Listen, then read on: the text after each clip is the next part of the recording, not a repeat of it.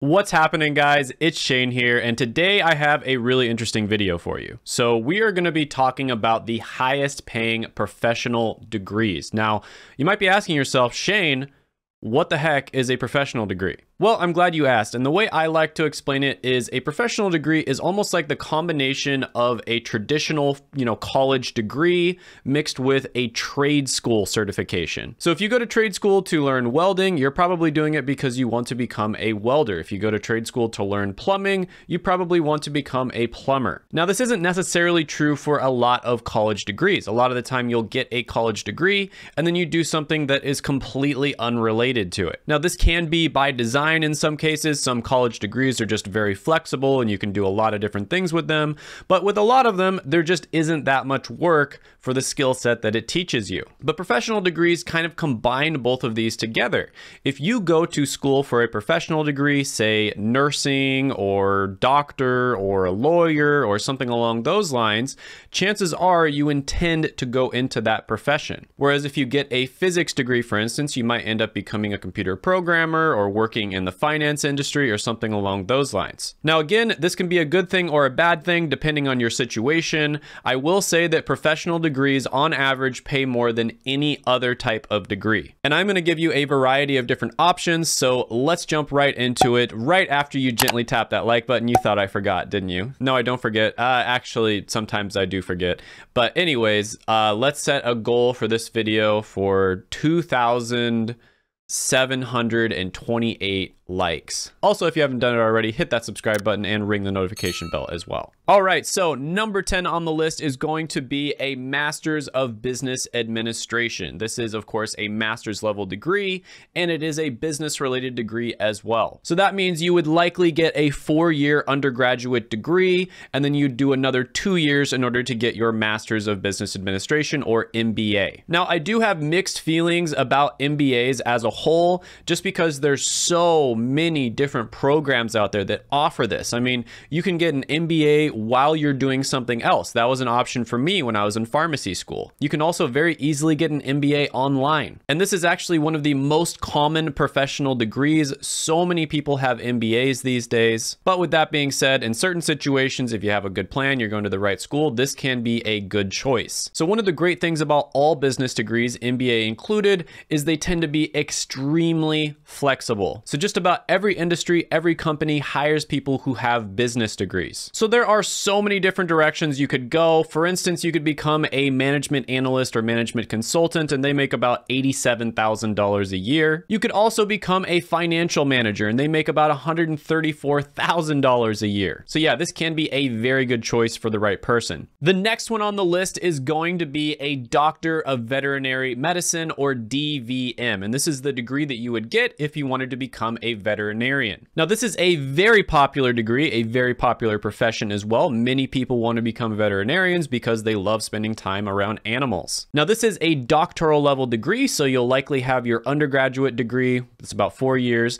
and then another four years of training and classroom and clinical certification, etc. on top of that. But for all of that, you will get to work with animals, and on top of it, you'll be making about $99,000 a year. Now, this is also one of those degrees where it's growing at 17 15%, which is much faster than average. To put that in perspective, the average career is growing at about 4 to 5% and that is according to BLS over the next 10 years. The next one on the list, number eight, is going to be a master's in health administration. So with this degree, you will usually have your undergraduate degree, which is four years, and then you'll do an additional two to three years of schooling. So this is a six to seven year degree. Now, this is a very common degree that you see people getting if they want to work as a manager or an executive in healthcare. A lot of the time, these people will already be working in healthcare, either as an administrative role or maybe they're doing something like nursing or something along those lines. Now, there's a lot of different career paths you could go down, but one of them is you could become a health services manager. According to BLS, they make about $104,000 a year, and it's growing at an absolutely ridiculous 32% over the next 10 years. So it pays really well right now, and it will likely pay very well into the future. The next one on the list, number seven, is going to be a doctor of optometry or OD. So if you're someone who wears glasses or contacts, you probably already know what an optometrist does. They're basically a doctor that treats all things related to the eyes. Now, they do diagnose and treat a lot of different visual problems, but their focus is on prescribing eyeglasses or contacts. Now, this is one of those careers where I did a ton of research on it, and in my opinion, I think BLS is actually a little bit wrong on this one. I think it's even better than what it says on BLS. And don't get me wrong, it's still pretty good on BLS. So they make about $118,000 a year, and it says it's growing about 9%, which is pretty good. But that's actually relatively low compared to a lot of other professional degrees. But I think the reason that it's probably going to be even better than 9% is because people are staring at screens their phones, their computers, their TVs, their tablets, etc., for a ridiculously long period of time. And because of that, their vision is going to degrade. And it's going to be a lot worse than it was in the past. And so that is going to increase the need for more and more optometrists, in my opinion. So I think this one is going to be even better than what it says on BLS. BLS does a great job, in my opinion, with all of their different objective ways of measuring what the demand is. But I think in this particular case, there's something that is uh, to measure objectively, and it's more of a subjective sort of opinion thing. So I disagree with them on this one. Number six on the list is going to be a Masters of Science in Nursing or MSN. And this is what you would get if you wanted to become a nurse practitioner. Now, nurse practitioners, also known as APRNs or Advanced Practice Registered Nurses, can do many of the same things as a doctor. They can prescribe, they can diagnose. They are somewhat limited depending on regulations, what they can prescribe and diagnose, but this is one of those careers that I really love because a lot of people want to become a doctor for the right reasons, but they don't want to go through the ridiculously long amount of time it takes to go through MD or DO school. You know, you have to do eight years of schooling and then a residency that lasts three to seven years. This is a much faster way to do something that's very similar to what you would be doing as a doctor, but in my opinion, you have a better work-life balance and you don't have to sacrifice as much. This is one of my favorite careers out there, fantastic one. If you've watched my other videos about health careers, you've probably heard about this one. But yeah, nurse practitioners make about $117,000 per year, and they're growing at an absolutely ridiculous 45% over the next 10 years. That is likely going to be the highest on this video by far. It's also very flexible, so you have the option of going back and getting your DNP, which is a doctorate of nurse practitioner training, and then that way you make even more money and you can do even more stuff. There's certain specialties like nurse anesthetist where you can easily clear $200,000 a year. Number five on the list is going to be a Juris Doctor, and this is the degree that you would get if you wanted to become a lawyer. Now, in order to become a lawyer, you're usually going to have a four-year bachelor degree, and then grad school it takes around three years or so. So it's about a seven-year degree overall, but it is a doctoral level degree. And then after you graduate from law school, you have to pass a very difficult exam called the bar exam that Kim Kardashian recently failed. Now, lawyers make around $126,000 a year, and it's growing at about 9%, which is a little above average. I will say one thing about becoming a lawyer is it could be number one on this list or it could not make the top 100, right?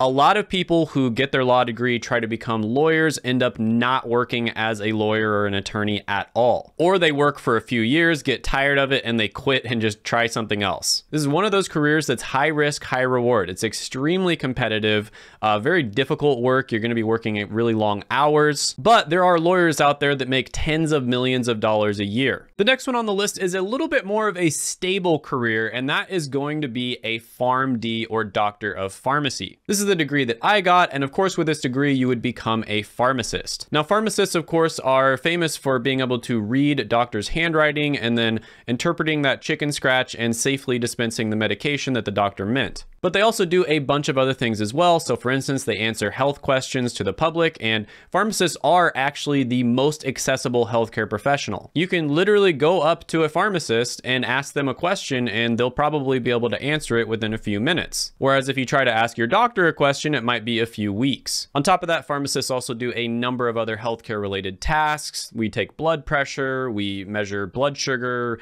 we do immunizations, and there are many other pharmacist jobs besides the you know, usual one that you probably picture in your head when you think of a pharmacist, the person with the white coat working in your grocery store. There's actually 49 different types of pharmacists the last time I counted, and they make about $128,000 a year. So yeah, I've talked about this one a lot on my channel. Uh, can be a great career for the right type of person. I will say that many people go into pharmacy for the wrong reasons. Uh, I think they go into it because it's a doctorate. You know, it's one of the easier doctorates maybe to get. I, I, I don't know if I should say that, but yeah. And on top of that, it makes a lot of money. So a lot of people go into it uh, not knowing what they're getting themselves into, and they end up not being happy with it. Number three on the list is going to be a doctor of podiatry. And this is going to be a doctor that is an expert in all things related to the lower legs. So basically your feet and your ankles. This is another one where you have to earn a four year degree on top of usually having an undergraduate degree as well. So it's going to be about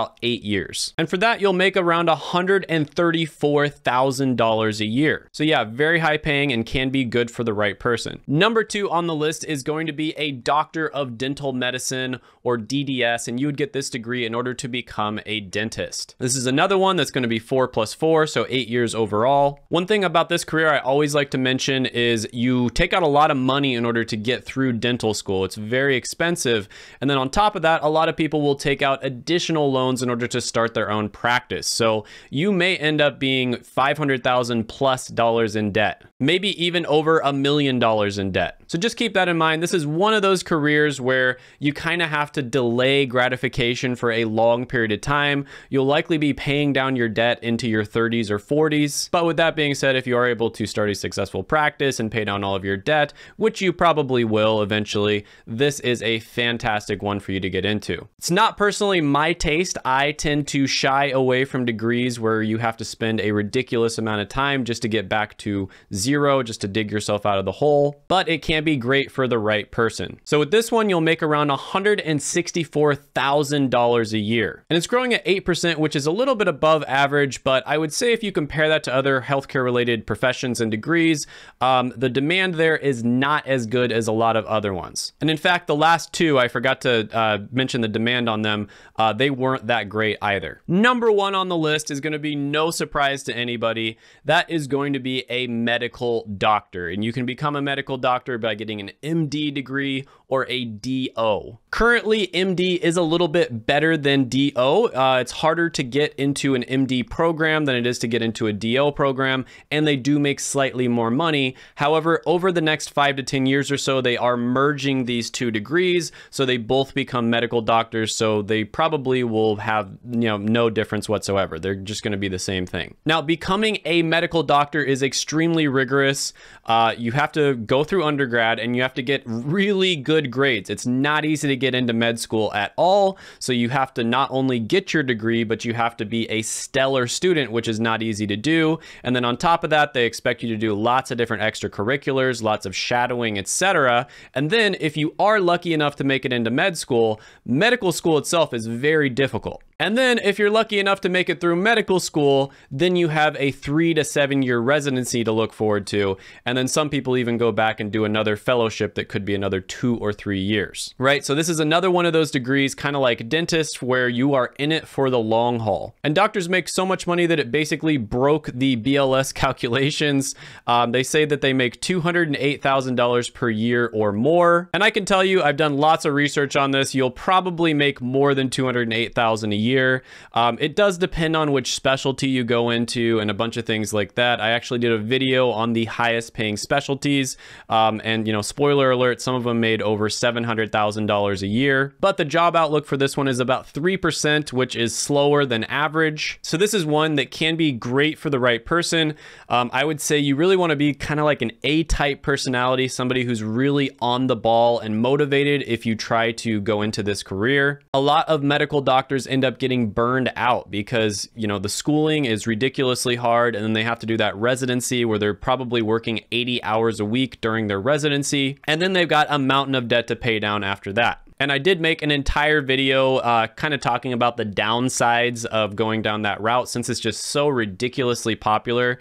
I mean, when I was an undergrad, it seems like, you know, I took a lot of like science classes, of course, and it seems like every other person I met was trying to become a medical doctor, and very, very few of them actually succeeded. So check out my other videos right here. I made them just for you. Go ahead, gently tap that like button, hit the subscribe button, ring the notification bell, and comment down below any thoughts, comments, criticisms, etc. And I will see you next time.